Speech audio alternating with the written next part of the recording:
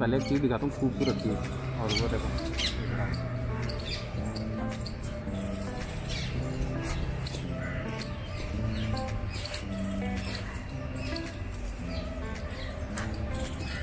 है ना, खूबसूरत। और अभी खूबसूरत कंटेंट बनाते हैं इसके साथ। तो आज का जो रिव्यू होने वाला है, वो है पोको एफ़ फाइव और इसको लिए हुए कम से कम सात आठ महीने हो गए हैं मेरे को। शायद ज़्यादा ही हो हाँ आठ महीने के समथिंग हो गए हैं मेरे को। तो पहले इसमें बस देख लेते हैं कि क्या क्या आता है। हालाँकि इसमें बॉक्स में कितना क्या इंक्लूड है और कितना क्या पावरफुल और कितना क्या मज़ा दे सकता है ये फ़ोन गेमिंग में और बाकी सब कंटेंट एडिटिंग में जो भी। तो बेसिकली मैंने कंटेंट एडिट करने के लिए लिया था ये। क्योंकि इसमें जो आता है वो Snapdragon seven plus gen two जो कि फोर एन एम पे बेस्ड है। बढ़िया टेक्स्ट और पावरफुल प्रोसेसर के साथ आता है। तो जो पोको का मेन कलर है हाईलाइट रहता है, वो है ये हल्दी जैसा कलर येलो और इसके पिट्ठी रगड़ी हुई आती है हल्दी की। है ना, ये जैसे बाँध जैसा हुआ रहता है। यहाँ पर सिम इजेक्टर टूल मिल जाता है अपन को। और इसमें वो रैपिंग आ जाती है ट्रांसपेरेंट कवर आता है और ये बुकलेट है। इसमें यहाँ पर अभी क्या है कि फ़ोन है नहीं, गायब हो चुका है, वो कहाँ है तो जल्दी दिखाते हैं, वो भी आपको। इसमें फ़ोन आ जाता है, और ये फिर आता है, और यहाँ चार्जर आता है, और ये डाटा केबल है जिसका उद्घाटन करके अपन ने ये धागा बाँध दिया है। तो ये है सिस्टर की मेहरबानी है। तो कभी कभार हो जाता है, जब भी कुछ नए इलेक्ट्रॉनिक सामान खरीदते हैं, कुछ कुछ ऐसा करते हैं, जैसे फ्रीज वॉशिंग मशीन कुछ भी कहते हैं तो ये हमारे फ़ोन सस्तर होते हैं। अभी कोई अंधविश्वास समझता है, कोई कुछ समझता है। तो अपनी अपनी सोच होती है वो। और हम इसको खुशी समझते हैं, जो भी है। लेकिन फ़ोन है? फ़ोन ही देखो क्या हो रहा है। बेचारा ऐसा लग रहा है जैसे बहुत मेहनत मजदूरी करके ये इस तरीके का हो चुका है। कवर इसका फ्लिप कवर और इसमें एक फ्लिप कवर ही मंगवाया था। कितने क्या मंगवाया था तो बाद में मेंशन कर दूँगा। हालाँकि ये पैसे डले हुए नहीं आते, इसमें डाले गए हैं बाद में। और कुछ क्रेडिट कार्ड भी है। और ये ऐसे तो सबसे पहले उद्घाटन जो फील है, वो अभी तक आज मेरी तरफ़। आज इसको आठ महीने के समथिंग हो गए हैं वो मिट्टी में कैसे भरा हुआ है। ऐसी बात नहीं है कि मुझे कदर नहीं है, लेकिन मैंने भी अभी चेक किया है कि ये ऐसा भी हो गया हो गया था और इस बार जल्दी हो गया है क्योंकि दो तीन दिन पहले ही मैंने इसको क्लीन किया था। और अभी दो तीन दिन में ऐसे पता नहीं इस बार कैसे क्या हुआ। तो फ़र्स्ट ऑफ़ ऑल ये वाला जो फील है इसका, अभी फेस लॉक लगा रखा है मैंने तो उस वजह से क्या है कि लॉक अनलॉक हो जाता है। इसका जो फील है वो अभी तक मैंने जो इसके ऊपर लगा हुआ था कवरिंग का वो अभी तक लिया नहीं है जो अभी बता रहे हैं इसको तो देखते हैं। अगर आपके पास दौलत है तो आप महान हैं नहीं तो आप कुत्ते के समान हैं। ये एक टेम्पर्ड ग्लास की जैसे मोटा सा ही आता है इसके ऊपर ये चढ़ा हुआ लेकिन अभी उतारने का झंझट हुआ नहीं है अभी तक।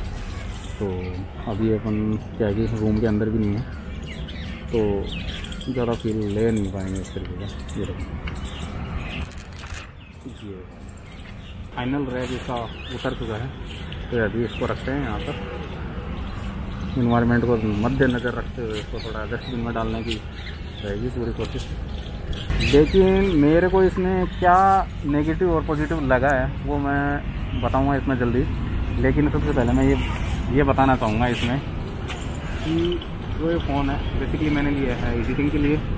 तो कैमरा भी कोई मेरा ज़्यादा बड़ा फैक्टर नहीं है, लेकिन जितना मेरे को चाहिए उस हिसाब से मेरे को सही, ठीक है, काम चल जाता है इसमें। बाकी इन फ़ोन का ज़्यादा बेस्ट कैमरा आता नहीं है कि तो नोट का जो आप सोचते हो जो भी फ्लैगशिप फ़ोन में आते हैं कैमरे उस टाइप के नहीं है। लेकिन हाँ बढ़िया है। सौ सौ वाला है फिफ्टी फिफ्टी वाला।